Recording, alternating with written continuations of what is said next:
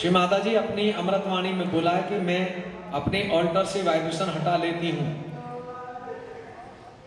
सुनी किसी ने ये स्पीच इसका सवाल है,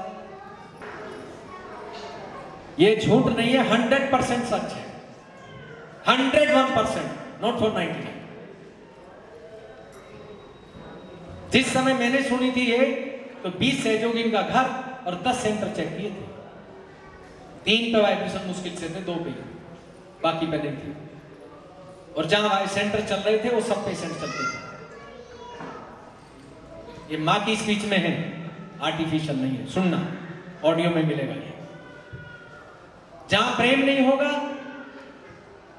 वहाँ से माँ की शक्ति समाप्त जहाँ पैसा चलेगा, वहाँ समाप्त जहाँ चापलूसी चलेगी, वहाँ समाप्त ये नहीं है। जो निर्मल धाम में शक्ति है, वो आपको मंदिर मस्जिद में भी मिलेगा। वो कहा नहीं जहाँ सूफी बैठते हैं, जिस कमरे में आप सोते हैं, उस कमरे का वाइब्रेशन देख लो, दूसरे कमरे के चेक कर लो फ़र्क आ जाएगा। ये चेतन वो चीज़ है। और आपसे मेरी हाथ जोड़ के विनती है अगर आप सहयोगी बनना चाहते हैं तो माँ की ऑडियो लीजिए, चाहे वीडियो लीजिए, उन्हें देखिए। नए लोग पब्लिक प्रोग्राम ले कैसेट रखी हुई है, अलग बनवाई है मैंने। नए लोगों को पूजा नहीं सुननी चाहिए। छह महीने कम से कम पब्लिक प्रोग्राम सुने। और माँ का वीडियो से सुने तो बहुत ही अच्छा है। और पुराने सहयोगी भी अगर पूजा सुने तो वीडियो की सुने ऑडियो की ना सुने आप।